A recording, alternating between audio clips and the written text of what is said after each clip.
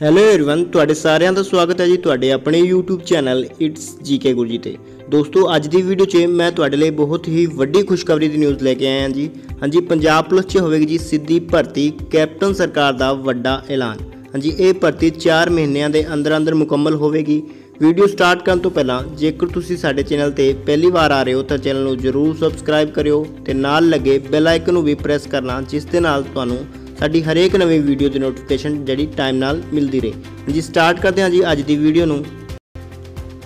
ਹਾਂਜੀ ਕੈਪਟਨ ਨੇ ਖੋਲੇ ਸਿੱਧੀ ਭਰਤੀ ਦੇ ਦਰਵਾਜ਼ੇ। ਪੰਜਾਬ ਪੁਲਿਸ 'ਚ ਹੋਵੇਗੀ 305 ਜੇਲ੍ਹ ਵਾਰਡਨ ਦੀ ਸਿੱਧੀ ਭਰਤੀ। ਹਾਂਜੀ, ਪੜ੍ਹਦੇ ਹਾਂ ਪੂਰੀ ਖਬਰ ਨੂੰ। ਮੁੱਖ ਮੰਤਰੀ ਕੈਪਟਨ ਅਮਰਿੰਦਰ ਸਿੰਘ ਦੀ ਅਗਵਾਈ ਹੇਠ ਪੰਜਾਬ ਮੰਤਰੀ ਮੰਡਲ ਨੇ ਅੱਜ ਜੇਲ੍ਹ ਵਾਰਡਾਂ ਦੀਆਂ 305 ਅਸਾਮੀਆਂ ਨੂੰ ਅਧੀਨ ਸੇਵਾਵਾਂ ਚੋਣ ਬੋਰਡ ਦੇ ਅਧਿਕਾਰ ਖੇਤਰ ਵਿੱਚੋਂ ਕੱਢ ਕੇ ਪੰਜਾਬ ਪੁਲਿਸ ਭਰਤੀ ਬੋਰਡ ਰਾਹੀਂ ਸਿੱਧੇ ਤੌਰ ਤੇ ਭਰੇ ਜਾਣ ਨੂੰ ਪ੍ਰਵਾਨਗੀ ਦੇ ਦਿੱਤੀ ਹੈ। ਮੁੱਖ ਮੰਤਰੀ ਦਫ਼ਤਰ ਦੇ ਇੱਕ ਬੁਲਾਰੇ ਅਨੁਸਾਰ ਇਹ ਫੈਸਲਾ ਜੇਲ੍ਹ ਦੇ ਪ੍ਰਬੰਧਨ 'ਚ ਸੁਧਾਰ ਲਈ ਢੁਕਵੀਂ ਅਮਲਾ ਸਮਰੱਥਾ ਮੁਹੱਈਆ ਕਰਾਉਣ ਵਿੱਚ ਸਹਾਈ ਹੋਵੇਗਾ। ਇਹ ਸਮੁੱਚੀ ਭਰਤੀ ਪ੍ਰਕਿਰਿਆ 4 ਮਹੀਨਿਆਂ ਦੇ ਅੰਦਰ ਹੀ ਮੁਕੰਮਲ ਕੀਤੀ ਜਾਵੇਗੀ।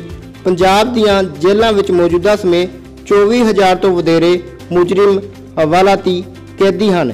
ਇਹਨਾਂ ਕੈਦੀਆਂ ਦੀ ਨਿਗਰਾਨੀ ਲਈ ਲੋੜੀਂਦੇ ਸਟਾਫ ਦੀ ਘਾਟ ਹੈ।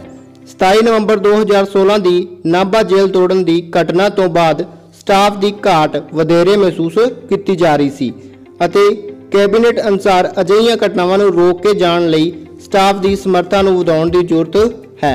ਨਾਭਾ ਜੇਲ੍ਹ ਤੋੜਨ ਦੀ ਘਟਨਾ ਦੀ ਜਾਂਚ ਲਈ ਗਠਿਤ ਉੱਚ ਤਾਕਤੀ ਕਮੇਟੀ ਵੱਲੋਂ ਵੀ ਜੇਲ੍ਹ ਅੰਦਰ ਘਟਨਾ ਦੇ ਕਾਰਨ ਵਜੋਂ ਸਟਾਫ ਦੀ ਘਾਟ ਨੂੰ ਵੀ ਉਗਾੜਿਆ ਗਿਆ ਸੀ।